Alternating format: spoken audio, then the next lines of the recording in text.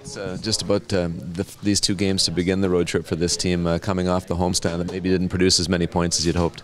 Yeah, for sure. Um, you know, not obviously uh, the uh, outcome we wanted in the four four games, but uh, I think that uh, we got we got better. Um, we ended on obviously not a not a not a great note in, in the win column, but uh, you know I think we were working hard and we showed up, and you know sometimes that just happens.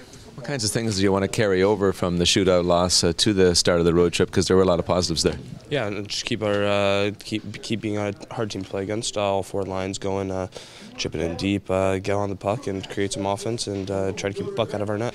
Lots of guys healthy now. Is it good to have a full group and maybe have some internal push from the team? Yeah, it's great. Yeah. Um, obviously, uh, the guys guys are working hard to make each other better, and you know, competing for a spot every night. It's uh, it's good.